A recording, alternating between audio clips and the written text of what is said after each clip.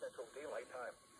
At 1.39 a.m. Eastern Daylight Time or 12.39 a.m. Central Daylight Time, strong thunderstorms were located along a line extending from 8 nautical miles southwest of Buckeye Reef to 27 nautical miles southeast of B Tower to 46 nautical miles southwest of South Tower, moving east at 25 knots.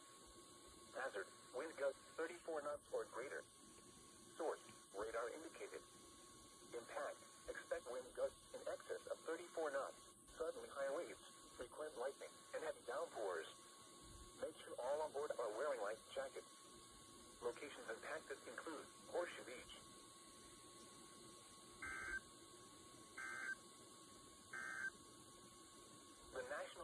Service in Tallahassee has issued a special marine warning for coastal waters from Apparently you're not done, GA. out to 20 Freak you.